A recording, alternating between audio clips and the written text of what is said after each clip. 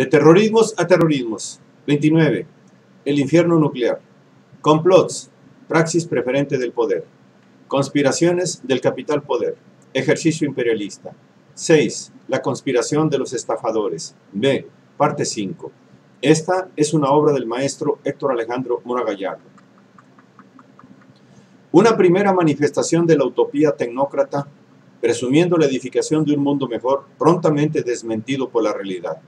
La recurrencia de las crisis, precisamente por ser secuencialmente crisis de sobreproducción, no tenían por qué verse suprimidas. Un nuevo colapso financiero en 1907 puso en entredicho la racionalidad de dichos cálculos. Los monopolios, si no fueron afectados, no obtuvieron las ganancias esperadas. La expansión industrial no resultó la esperada, cuando que con el incremento de la plusvalía relativa derivada del progreso maquinal, Fordismo, Taylorismo, no se hacía sino incrementar la intensidad de las crisis, resultado de la intensificación industrial, abriendo puertas al productivismo, al productivismo desaforado, brutal, sobreexplotador de personas y recursos. Dado el auge empresarial en las postrimerías del siglo XIX, el Congreso estadounidense era dominado por empresarios, velando por sus intereses, al grado tal de que a la Cámara de Senadores se le conocía con picardía como el Club de Millonarios. Fueron ellos los que votaron a favor de tarifas proteccionistas y de una moneda fuerte. Entre sus miembros se encontraba Nelson Aldrich, yerno de John Rockefeller, quien ingresó al Senado de 1881 y permaneció ahí por espacio de 30 años. Consciente del cambio ocurrido, Aldrich opinaba que la representación en el Senado no debía ser por estados, sino por ramas de la industria.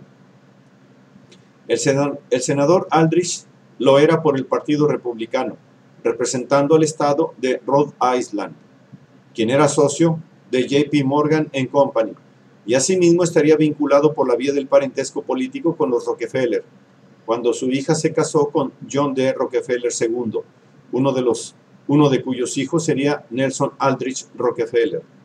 Posteriormente gobernador del estado de Nueva York y vicepresidente de los Estados Unidos, lo que es igual a decir la plutocracia configurada a través de alianzas matrimoniales, teniendo como propósito principal fundar un nuevo Central Bank, en procura de obtener el control financiero nacional y por extensión del capital imperialista transnacional, pero incluyendo la participación de los banqueros europeos, puesto que ellos eran los gestores del nuevo orden internacional pretendido. Una alianza establecida entre dos conglomerados de banqueros, visualizando la futura hegemonía anglo-estadounidense atlántica, se advierte con la intencionalidad de poderosos consorcios bancarios activando la política económica norteamericana e imperialista sucedánea. El acuerdo entre el bloque anglófilo liderado por la Casa Morgan, la Rockefeller y el grupo Mellon, pactando con los banqueros judeo-alemanes de las casas Schiff, Rothschild y Warburg, Jacob Schiff fue el encargado de representar a su firma en la consecución del gran negocio, estableciendo un convenio que proyecta a Wall Street al liderazgo financiero mundial, adquiriendo, requiriendo proceder a imponer un central bank en los Estados Unidos y así fraguar la hegemonía del dólar. Trasladándose desde Alemania a los Estados Unidos, Paul Moritz Barbour socio mayoritario de la firma bancaria alemana MM Barbour de Hamburgo, en misión de fungir como el agente encargado de preparar el advenimiento de un banco central bajo control de la plutocracia atlántica, operando ya, mera casualidad del destino, en los Estados Unidos en plena crisis de 1907. Dejan ver el que no resulta fortuito que desde esos años se iniciara su actividad en pro de establecer el Central Bank, el Central Bank norteamericano, actuando como experto especialista en temas bancarios, comenzando por teorizar sobre las necesidades de superar los problemas del sistema bancario, proponiendo la solución de concentrar las reservas para hacer frente a emergencias como las que se estaban viviendo debido a las recurrentes corridas bancarias, cuando que quienes provocaban el pánico eran los propios agiotistas de la plutocracia. Paul Warburg, banquero judeo-alemán de Prosapia, relacionado por la vía matrimonial junto a su hermano Max con la poderosa casa de los Schiff y de los Loeb, dueños de la banca Kuhn Loeb Company, las que entrelazadas incluían en su relación a los Rothschild para completar de esa manera una entente de poder monetario de dimensiones mundiales, cuando Alemania despuntaba como la potencia europea en ascenso, en ruta a desbancar al Reino, al Reino Unido. Sin salirse de Alemania, los potentados bancarios procuran establecer en los Estados Unidos el centro financiero mundial, oteando que la nación norteamericana estaba destinada a convertirse en la primera potencia mundial, sabedores que la disputa por la hegemonía mundo, que va aunada al predominio colonial, produciría guerras de gran intensidad a principios del siglo XX, en una confrontación que dejaba de ser exclusivamente europea. Al parecer se inclinan por apoyar a los Estados Unidos aunque puede ser que también lo hicieran simultáneamente con Alemania. El principio de estar con los dos bandos preponderantes para quedarse con el vencedor y con el vencido, sacando provecho de una apuesta en la que a fin de cuentas ellos ganan, pues están en ambos bandos, aprovechando las ganancias que se obtienen tanto del ganador como del perdedor. No gustándoles la rusa zarista, por autócrata y antisemita. La banca judeo-alemana patrocina el movimiento revolucionario bolchevique. No en balde la guerra es el negocio privilegiado de la plutocracia y la estratocracia. Ambas agrupaciones capitalistas preponderantes obtienen cuantiosas ganancias con la destrucción y las grandes carnicerías. La una financiándolas, la otra vendiendo en elevadas sumas el material bélico. Ya durante la guerra franco-prusiana de 1870-71, la banca Morgan le había efectuado un préstamo de guerra a Francia por 50 millones de dólares y luego, durante la Primera Guerra Mundial, se indicaría préstamos a favor de los aliados para la adquisición de equipamiento bélico por, por más de 1.500 millones de la época. La mano dinástica de los Rothschild se denota, cual mano maestra, aunque se considera que los cinco hermanos originarios procuraron mantener la paz en Europa durante décadas porque así sus negocios florecían adquiriendo mayor valor. Tenemos en custodia unas 900.000 rentas, 18 millones de francos nominal, escribía James a Salomón en 1830. Si la paz se mantiene, valdrán el 75%, mientras que en el caso de guerra bajarán al 45%. Negocio establecido procura estabilidad. No obstante, la relación entre el capital financiero y el negocio de la guerra era ya un hecho que había acompañado el desarrollo de la era moderna, estando por conocer su apogeo en el siglo XX. En lo que es de advertirse la movida ajedrecística realizada por la bancocracia europea.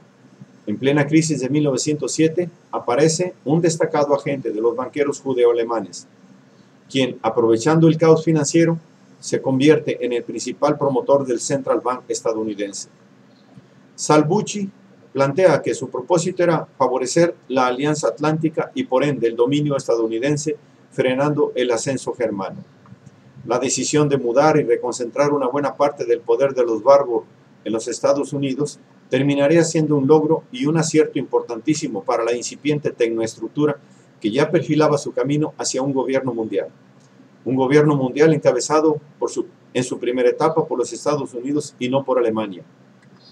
Resultando curioso que, casualidad del destino, Paul Barbour sería director de la Reserva Federal cuando su hermano Max lo era del Banco Central de Alemania.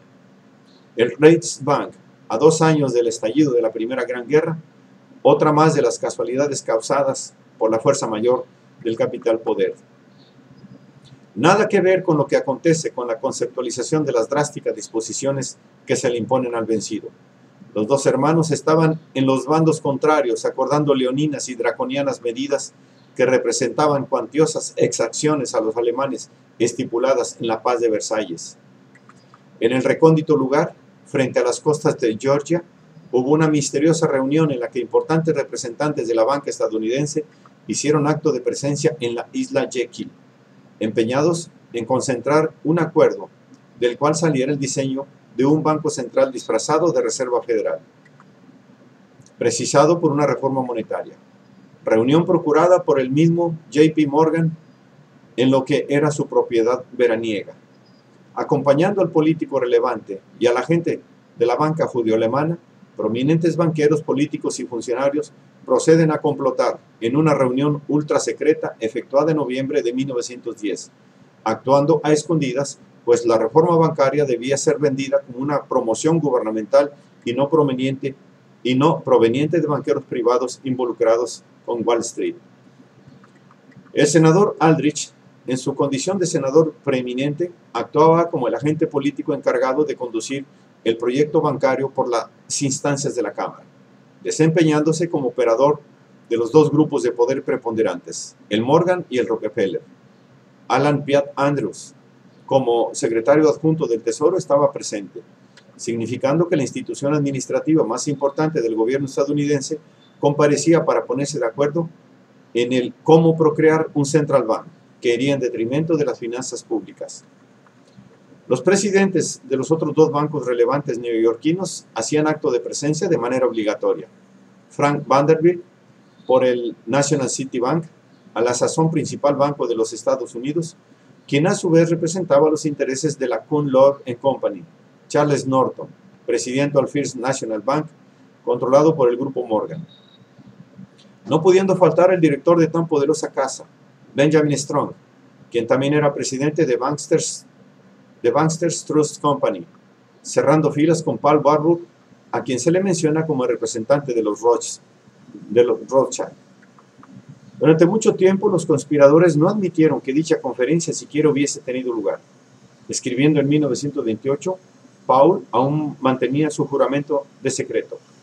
Aunque han transcurrido 18 años de aquello, aún no me siento libre de brindar una descripción de esta interesantísima conferencia en relación a la cual el senador, el senador Aldrich juramentó a todos los participantes a mantener el secreto. Aldrich quería un banco central controlado por banqueros, pero sin embargo, por razones de realismo político, Paul quería hacer concesiones, Paul quería hacer concesiones hacia un mayor control público. Aparentemente los roles cambiados. Como resultado de estas conversaciones, Aldrich anunció en enero de 1911 el así llamado Plan Aldrich. Ya en 1935, Vanderbilt asentía. Hubo una ocasión, alrededor de fines de 1910, cuando yo mantenía el máximo secreto, en verdad era tan furtivo como un conspirador, ya que hubiera resultado fatal para el proyecto del senador Aldrich, si hubiera tomado dominio público que se estaba recurriendo a gente de Wall Street para asistirle a preparar su proyecto de ley. No creo que sea una exageración decir que nuestra expedición secreta a la isla Jekyll como la ocasión en que se concibió formalmente lo que luego se convertiría en el sistema de la Reserva Federal. Un acuerdo, un cártel bancario monopolista que tenía capacidad de controlar las finanzas en los países hegemónicos, incluso aún, y cuando estos fuesen antagónicos en las disputas imperialistas. La bancocracia occidental se erigía por encima de estos estados-nación como los supremos mandamases. Sobra decir que posteriormente los dirigentes de la naciente bancocracia pasaron a fundar el Council on Foreign Relations. Y no fue el propio JP Morgan quien propagó el pánico que inicia la estampida de los atribulados ahorradores, esparciendo rumores de que un prominente banco norteamericano era insolvente y estaba al borde de la quiebra. Consecuentemente, los otros bancos se vieron forzados a reclamar sus préstamos, obligado, obligando a los endeudados a vender sus productos, haciendo comenzar una espiral de caos y colapsos bancarios. La tormenta financiera de 1907 sirvió para que la Casa Morgan, con el propio John Piper Morgan cavilando, se erigiera como la casa bancaria que fue capaz de salvar a la sociedad de los desperfectos ocurridos en el mercado monetario.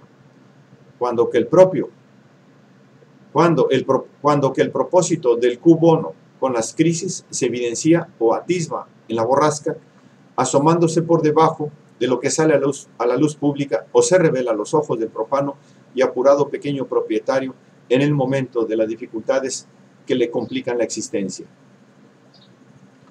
La Casa Morgan se convirtió en la entidad financiera preferente en los Estados Unidos y detrás de ella, ya sabemos, la firma Rothschild pretendiéndose demostrar que la carencia de un banco central era la causa del crecimiento descontrolado de la especulación financiera.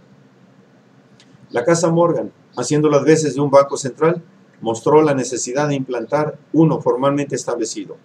Por consiguiente, los grandes banqueros se dieron a la tarea de dirigirlo y presidirlo para poner la casa en orden.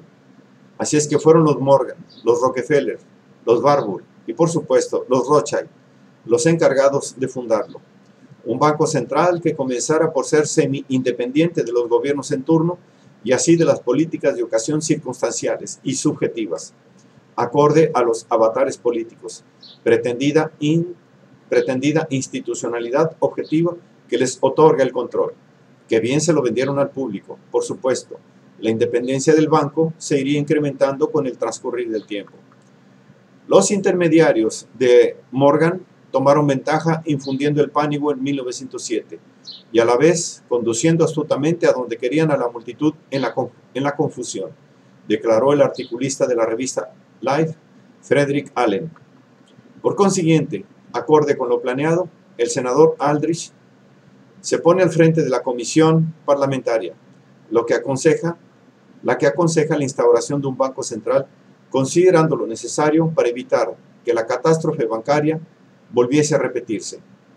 Así trabaja la perfidia de la bancocracia, confabulando los estafadores para recoger ganancias a río revuelto, tal y como lo hizo ver el senador Louis McFadden.